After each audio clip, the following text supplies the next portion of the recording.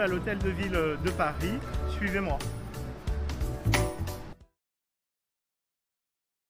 Bonjour, euh, je suis euh, Maor Chiche, avocat au barreau de Paris, euh, né dans le 19e. J'ai commencé mon engagement politique à mes 17 ans dans la lutte contre le racisme, l'antisémitisme, les discriminations et toutes les formes de haine. J'ai soutenu les quartiers populaires dans leur combat pour plus d'égalité et de justice sociale, ce qui m'a conduit à être candidat sur les listes Paris en commun suis devenu euh, conseiller de Paris euh, en juin 2020.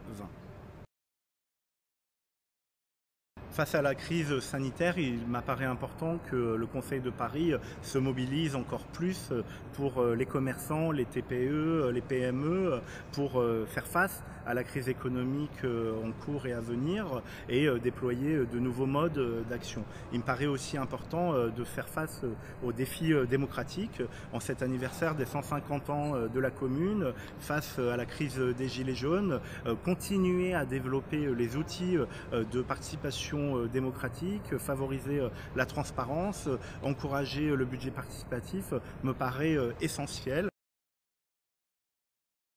Anne Hidalgo est une mère euh, engagée euh, sur les valeurs euh, républicaines. Elle a toujours été solide sur la question de la non-concurrence des mémoires et pour la complémentarité des mémoires. Et je crois que c'est une qualité essentielle lorsqu'on dirige une ville comme Paris, cosmopolite, multiculturelle, et où on a besoin en effet de construire des mémoires partagées. Le deuxième engagement qui m'est paru important chez Anne Hidalgo est celui pour une ville plus sociale, plus solidaire, plus inclusive et plus écologique.